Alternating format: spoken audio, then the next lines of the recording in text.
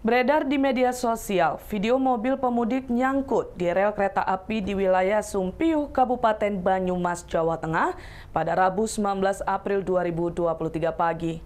Pada video singkat unggahan pemilik akun Instagram at unikinfo underscore ID menunjukkan satu unit mobil Toyota Fortuner dengan nomor polisi B1559NCQ yang sudah dalam posisi melintang di rel kereta api. Mobil pemudik asal Jambi yang menuju Purworejo itu diketahui masuk ke jalur kereta api setelah menerobos palang pintu sisi barat dan masuk ke dalam perlintasan. Setelah itu sopir dibalik kemudi mobil tersebut berbelok ke kiri arah jalur hilir dan berjalan di atas jalur kereta api dengan kecepatan tinggi. Peristiwa itu membuat sejumlah jadwal perjalanan kereta api terganggu. Tak sedikit warga sekitar yang datang mengerumuni lokasi kejadian untuk melihat peristiwa yang terbilang di luar nalar itu.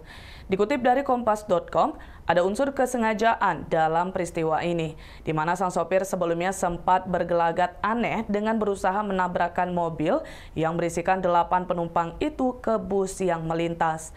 Namun siapa sangka sang sopir berakhir memutuskan masuk ke rel di perlintasan kereta api.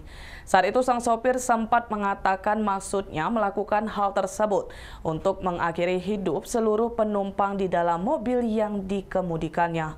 Hal itu sontak membuat seluruh penumpang panik.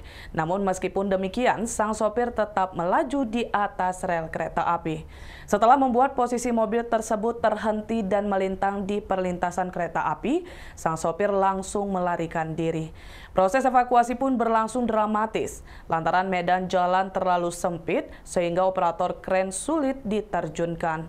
Setelah melalui proses evakuasi yang sulit, pada pukul 11 lewat 43 waktu Indonesia Barat, mobil tersebut akhirnya bisa dievakuasi.